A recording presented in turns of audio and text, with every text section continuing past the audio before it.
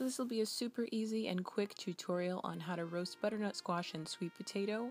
The ingredients are simple, olive oil, butternut squash, I use the cubes because I'm lazy, a lemon washed well, red pepper or cayenne, sea salt, and your sweet potatoes. You want to cube those into about one inch cubes, make sure that they're even so everything cooks evenly.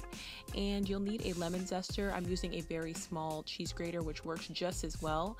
I'm going to go ahead and, and zest away about uh, one half of the lemon This is the reason for um, you needing to make sure that it's nice and clean. So zest, zest, zest away. And once you get enough zest in there, you can kind of check um, once you get enough zest in there, move on to your olive oil. I used about two tablespoons, just make sure all of the veggies are nice and coated. Ugh, this olive oil, I was not a fan of it, but um, I went ahead and used it anyway, and um, you know, it just didn't have the flavor that I was used to.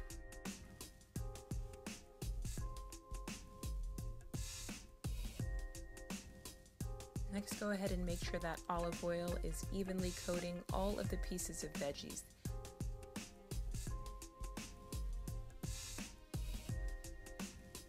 Go ahead and add your sea salt. I added about one teaspoon.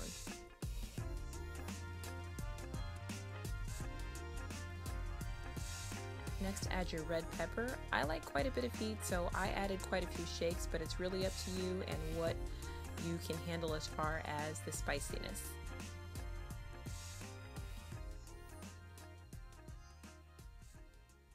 Go ahead and mix everything together again. You always want that flavor to be nice and uniform.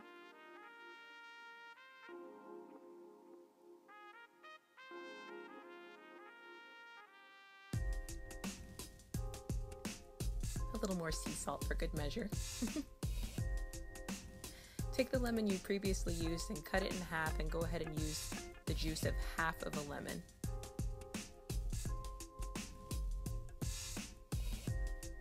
Make sure those seeds are out of the way as well. Go ahead and add all of your cubes to a nice large baking sheet. You want to put it in the oven at 350 degrees Fahrenheit and start monitoring at about the 30 minute point, but it will take about 40 to 45 minutes depending on the oven. And you'll know when they're done if you can stick a fork in and that fork comes out very easily.